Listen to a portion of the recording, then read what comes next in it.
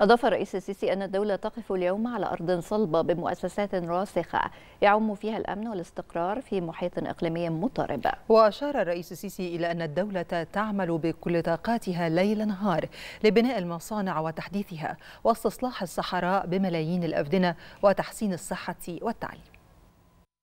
واليوم نقف على أرض صلبة دولة مؤسساتها راسخة. يعم فيها الأمن والاستقرار في محيط إقليمي مضطرب. ذات بنية تحتية متطورة في جميع القطاعات.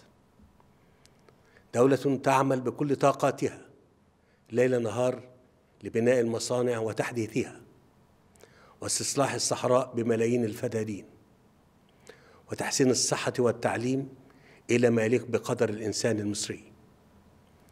وتشييد المدن والطرق وشبكات الطاقة والمياه والري.